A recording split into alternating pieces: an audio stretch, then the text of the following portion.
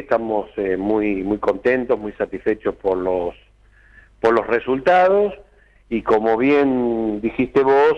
el, sabor para Juárez y para todos nosotros es que esto se ha gestado, la génesis de, Cambiemos ha sido en la ciudad de Marco Juárez un año antes. Y, la verdad que uno siente satisfacción porque eh, muchas veces lo hablamos que eh, particularmente para el radicalismo de Marco Juárez la decisión de, hacer el acuerdo eh, no fue una decisión fácil, no significó muchos dolores de cabeza porque no todos entendían esta necesidad de, hacer un acuerdo y de tener la posibilidad de, gobernar la ciudad y que bueno y que en definitiva iba a ser como la semilla de lo que venía después. Eh, lo bueno y lo satisfactorio de todo esto es que después a la distancia eh, y uno viendo los resultados se siente muy gratificado porque en definitiva creo que lo más importante es tener el asiento de la gente, más allá de las cuestiones eh, personales o que cada uno de los dirigentes podamos haber tenido en ese momento. Así que creo que la satisfacción es doble en ese sentido. Y también creo que eh, este triunfo con de la provincia de Córdoba, porque la verdad que es un número que, que, es realmente eh, grande, nos, bueno, nos, nos, reconforta y, bueno, y nos da la tranquilidad de haber elegido el camino correcto. Ahora, eh, vamos concretamente a Marco Juárez, Javier. Después del eh, triunfo contundente en la elección de ayer, después de escuchar el mensaje y saber eh, cuál es la postura, el posicionamiento de Macri, y a la luz de todos estos resultados, no, es hora de que mm, el radicalismo se autoconvoque en Marco Juárez para tratar de, limar esas diferencias y para hacer, en definitiva, mm, caso eh, a, esa unidad que está propiciando Macri a nivel nacional? Sí, por supuesto que sí. Yo creo que eran tiempos que había que dejar que,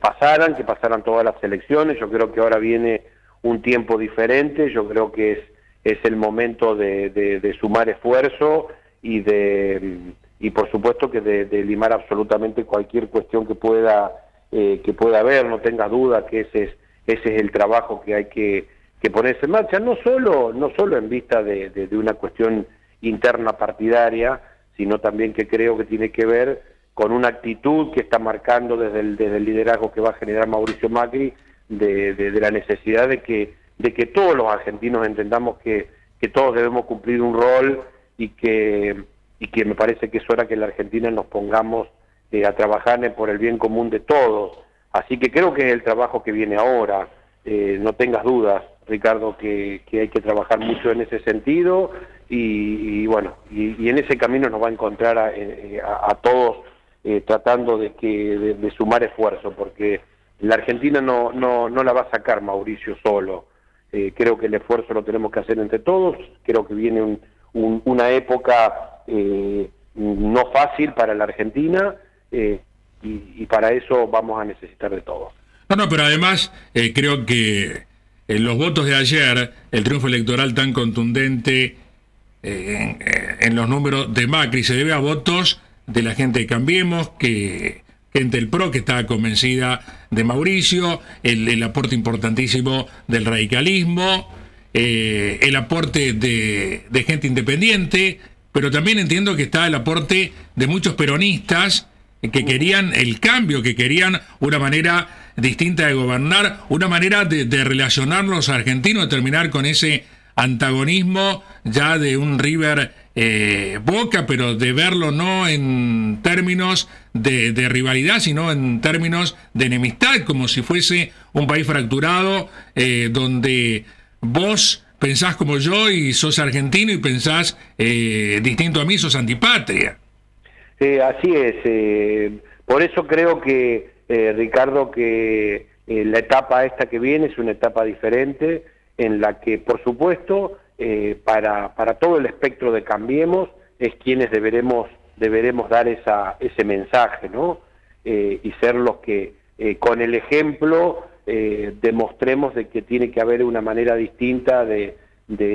comunicarnos y, y, de hacer las cosas en la Argentina. el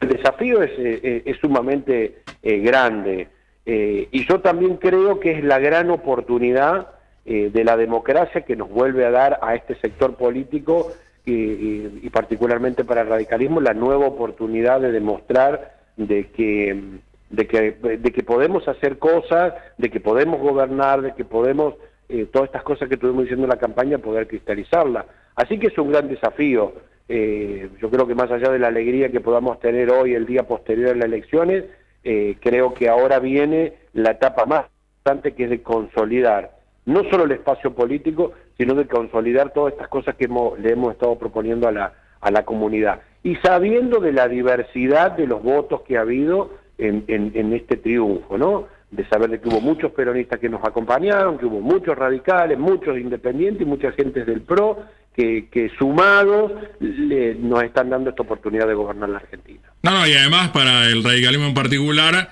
es tratar de decirle a la sociedad de que se aprendió la, lección de lo que fue la experiencia de, la alianza eh, con De la Rúa y de que esos eh, errores que se cometieron tal vez no se vuelvan a cometer. No, por supuesto, eh, no tengas duda que, que, debemos ser sumamente celosos de esa de, de, esa historia que nos tiene que haber enseñado a que, a que las cosas tendríamos que hacer distinto. Así que bueno, eh, comienza un camino nuevo, Ricardo, y, hay que trabajar mucho. Vamos a tener que trabajar mucho. Bueno, muy bien, te dejo un abrazo, gracias por el tiempo. No, gracias a vos, Ricardo, y si, si me permitís un ratito más, yo quiero eh, agradecer a todas las personas que nos, que nos acompañaron ayer en el comicio en la ciudad de Marco Juárez, fiscalizando las mesas.